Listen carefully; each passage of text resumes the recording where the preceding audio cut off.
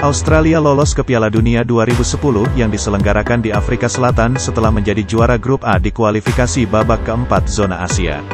Dan berikut ini, adalah perjalanan Australia di Piala Dunia 2010.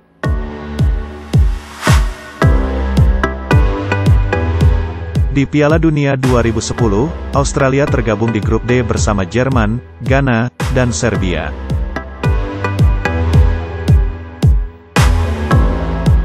Pertandingan pertama Australia adalah melawan Jerman.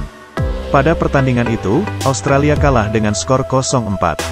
Gol dari Jerman dicetak oleh Lukas Podolski menit 8, Miroslav Klose menit 26, Thomas Muller menit 68, dan Cacau menit 70.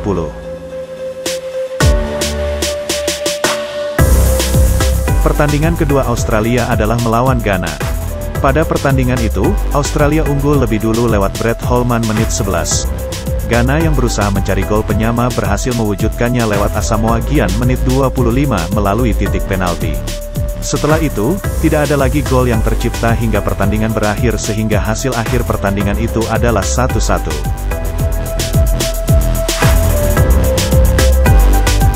Pertandingan ketiga atau yang terakhir Australia di babak penyisihan grup adalah melawan Serbia.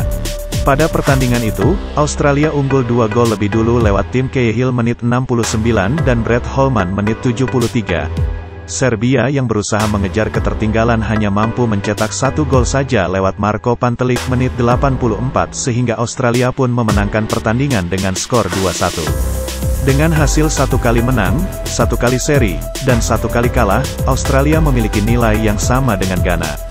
Namun, karena kalah selisih gol dari Ghana, Australia pada akhirnya menempati urutan ketiga grup D dan gagal lolos ke babak 16 besar.